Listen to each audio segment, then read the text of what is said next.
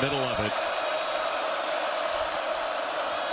Giles gets to the edge and creates some room. He just got shoved down by Burch. Third down coming up.